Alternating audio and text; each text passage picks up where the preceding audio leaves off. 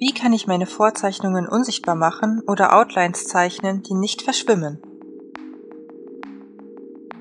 Diese Frage werde ich in diesem Beitrag beantworten.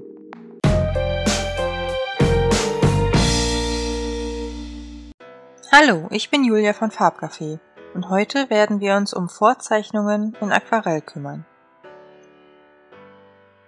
Ein Problem bei Vorzeichnungen mit Bleistift ist, dass sie manchmal unschön und dunkelgrau zu sehen sind, wenn wir mit unserem Aquarell fertig sind. Man kann das einerseits als Stilmittel benutzen und vielleicht sogar Struktur und Schattierungen in das Aquarell bringen, oder man stört sich daran. Es gibt mehrere Möglichkeiten, die Vorzeichnungen verschwinden zu lassen oder so abzumildern, dass man sie kaum sieht. Eine Grundvoraussetzung für das Unsichtbarwerden der Vorzeichnung ist, dass wir unsere Farben auch wirklich dort enden lassen, wo unser Strich ist. Ist ein Strich mitten in einer einheitlichen Fläche, wird es sehr schwer werden, ihn nicht mehr zu sehen. An einer Farbkante nimmt unser Auge einen Strich nicht mehr so wahr, weil dort ohnehin ein Umbruch stattfindet. Möglichkeit 1. Weicher Bleistift und Knetgummi. Mit einem herkömmlichen Knetgummi kann man weiche Bleistiftlinien, HB oder weicher, fast bis zur Unkenntlichkeit wieder vom Aquarellpapier entfernen. Das kann zwar einige Zeit und etwas Mühe brauchen, aber so kann man sehr, sehr helle Linien erzeugen.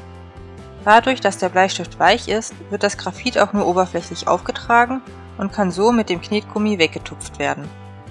Würde man einen harten Bleistift nutzen, würde sich die Spitze des Stiftes in das Papier drücken und dort Furchen hinterlassen, die mit großer Wahrscheinlichkeit später zu sehen sind. Außerdem lässt sich mit einem herkömmlichen Bleistift auf Aquarellpapier nur schwer radieren, ohne dass man das Risiko eingeht, die Oberfläche zu beschädigen. Der Knetgummi sollte qualitativ hochwertig sein. Knetgummis sind jedoch nicht teuer. Für etwa 2 Euro kann man zum Beispiel bei Amazon einen bekommen. Günstigere Knetgummis kann ich aus eigener Erfahrung nicht empfehlen, weil sie die Farbe kaum aufnehmen und eher noch weiter im Papier verteilen. Mein Knetgummi von Faber-Castell habe ich beispielsweise 2008 zum Start meines Studiums gekauft und nutze ihn immer noch. Die 2 Euro waren also wirklich gut investiert. Möglichkeit 2. Aquarellstifte für die Vorzeichnung nutzen.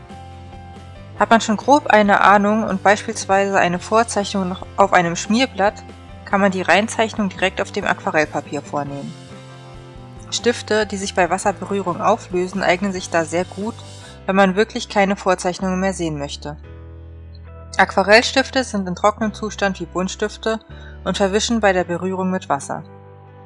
Wenn man nicht zu sehr aufdrückt, bleiben bei qualitativ guten Aquarellstiften keine Rückstände mehr auf dem Papier zu sehen. Wir nutzen also für die Outlines der Vorzeichnung eine ähnliche Farbe, wie die Fläche später haben soll. So geht die Umrandung später direkt in die Fläche über und wird unsichtbar. Außerdem kann man Aquarellstifte später auch noch nutzen, um weitere Details oder Strukturen in die Zeichnung zu setzen. Wenn man bei Aquarellstiften nicht aufpasst, kann es sogar passieren, dass man seine Vorzeichnungen später nur noch so schemenhaft erkennt, dass man gar nicht mehr weiß, wo man jetzt welche Details hinmalen soll. Sie eignen sich also hervorragend, wenn die Vorzeichnung später ganz verschwinden soll.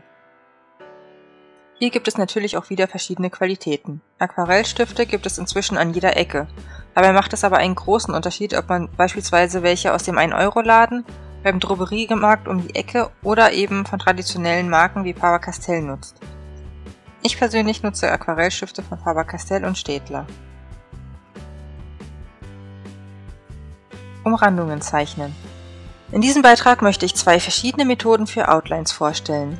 Die erste braucht gar kein neues Equipment, die zweite einen tollen weiteren Stift. Die beiden Methoden unterscheiden sich grundlegend. Outlines mit Tusche vor dem Aquarellieren zeichnen. Für gut sichtbare Outlines kann man Tusche oder Tuschestifte nutzen. Ich finde Tuschestifte sehr angenehm, da sie nicht kleckern, einen Deckel haben, einfach in der Anwendung sind. Es gibt sie inzwischen in mehreren verschiedenen Farben, sodass man auch in Sepia, Rot oder Blau zeichnen kann. Ich nutze allerdings bisher immer schwarz.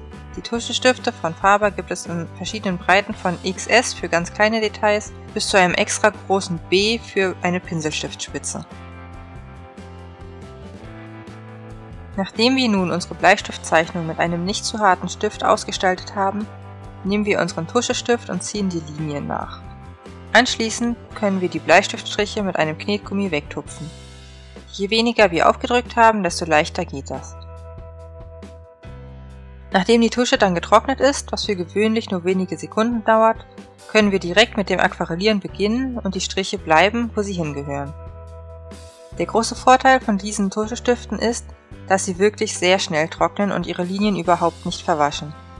Nichts ist ärgerlicher, als wenn die minutiöse Zeichnung mit dem falschen Stift gemacht wurde und anschließend das ganze Bild versaut ist. Das kann übrigens auch passieren, wenn man bei Tusche aus dem Glas nicht lange genug wartet oder wenn man die Tusche nicht gründlich genug gerührt hat. Outlines nach dem Aquarellieren mit Aquarellfarbe oder anderen Stiften ziehen. Die andere Methode ist, die Outline zu zeichnen, nachdem das komplette Bild gezeichnet und alle Schattierungen gesetzt wurden. Dann sieht das Bild bis zu den Outlines meist ein wenig nackt aus, aber man kann mit einer dunklen und deckend angemischten Aquarellfarbe und einem dünnen Pinsel schöne Outlines ziehen. Alternativ kann man auch warten, bis das Bild komplett getrocknet ist und dann Tinte, Tusche oder andere Filzstifte nutzen. Mit den Outlines können auch Linien der Vorzeichnung wieder überdeckt werden.